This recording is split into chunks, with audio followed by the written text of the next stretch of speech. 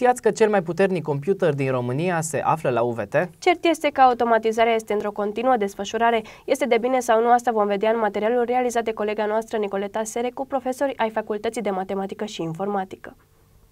Acest uh, calculator l-am achiziționat în 2011. Scopul uh, inițial a fost de a servi Institutului de Cercetări Avansate în Mediu, deci tuturor disciplinelor cu acest topic din uh, universitate, de la geografie, chimie, fizică, matematică, informatică. În uh, contextul în care acest proiect de, a Institutului de Cercetări Avansate Mediu a fost prelungit, uh, calculatorul a fost uh, folosit în special pentru proiectele domeniului de informatică uh, și amintesc aici o serie de proiecte legate de uh, agenția spa- finanțate de Agenția Spațială Europeană, în care prelucrăm date uh, primite prin uh, sateliți. De asemenea, proiecte care uh, servesc comunității de cercetători, cum ar fi din domeniul fizicii, din domeniul uh, prelucrării um, materialelor, din uh, partea de de asemenea, acum, proiectele care avem în, uh, în rulare sunt legate de uh, digital preservation, în, ar fi arhivarea datelor în format uh, digital, uh, pe partea de meteorologie și, uh, de asemenea, uh, pe, pe partea de bioinformatică, pentru care și departamentul nostru a deschis în anul acesta o direcție la master. Computerul, bineînțeles că este o unealtă. Este un suport, uh, cel, cel care îl dirigează este cel care controlează activitatea sa și acest lucru nu cred că o să pierdem vreodată. Chiar și vorbim de arti- inteligență artificială, sunt niște algoritmi în spate uh, care îi înțelegem și noi îi construim. În contextul în care birocrația, să zicem așa, și uh, activitățile umane sunt în ce în ce mai complexe, uh, calculatorul ne ajută să suporte aceste activități mult mai ușor dacă am face noi manual. Și ca urmare, acest trend uh, de mișcare a industriei spre ceva care este orientat spre digital este mult mai uh, profund decât uh, revoluțiile anterioare care au fost uh, industri- industrii 3.0, 2.0 și 1.0.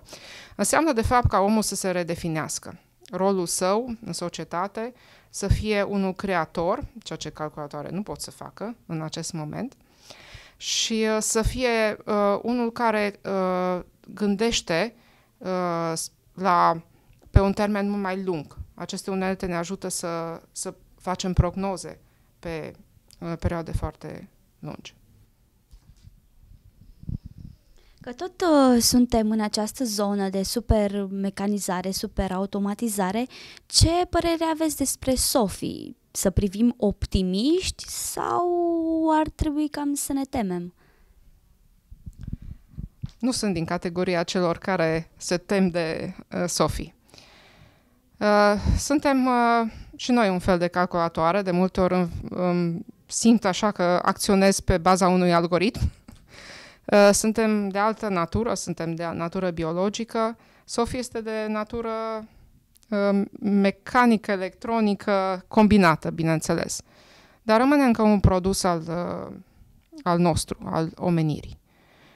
Că vor exista mai multe Sofii în viitor, desigur, de ce nu? Dacă acest, acești cyber oameni o să ajute societății pe care o construim și care va avea, bineînțeles, altă uh, înfățișare decât uh, cea actuală, peste 100 de ani, așa cum cei de acum 100 de ani nu cred că puteau să-și imagineze societatea de astăzi. Uh, deci sunt absolut convinsă și pozitivă că apariția unei asemenea persoane, dacă putem să o numim, este benefică pentru societatea noastră. Se poate să ne spuneți mai multe informații despre inteligența artificială și ce se implementează în cadrul universității? Da, la Universitatea de Vest, în special la Facultatea de Matematică și Informatică, Departamentul de Informatică, există un colectiv în cadrul Centrului de Cercetare Informatică, mare și cu, cu activități deosebite în domeniul inteligenței artificiale.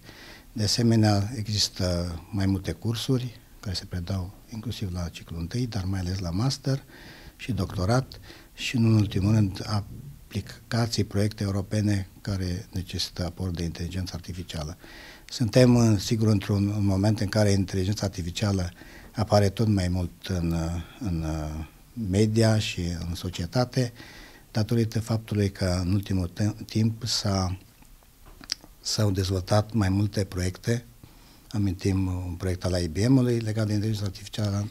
În același timp apar și noi meserii legate de data analytics, big data, deci date foarte mari și o analiză a datelor și în acest context ele sunt legate și de internetul lucrurilor, internetul Things, iar la Universitatea de Vest, uh, spre exemplu, în programul de master, avem un master de cercetare de inteligență artificială și calcul distribuit.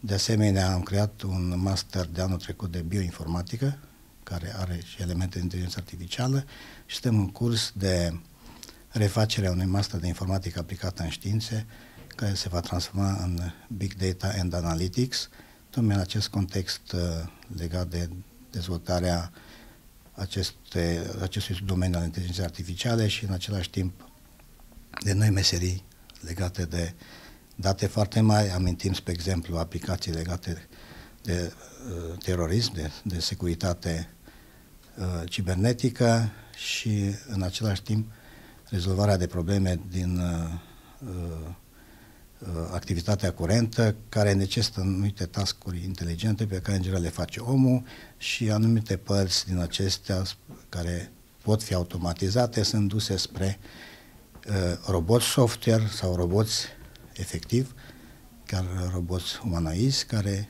pot să desfășoare anumite activități, de la activități casnice până la rezolvarea de probleme, un, spre exemplu un robot software poate să ne gestioneze documentele, e mail să ne planifice anumite activități, să le replanifice și chiar să, să, să dezvolte activități de secretariat și nu numai.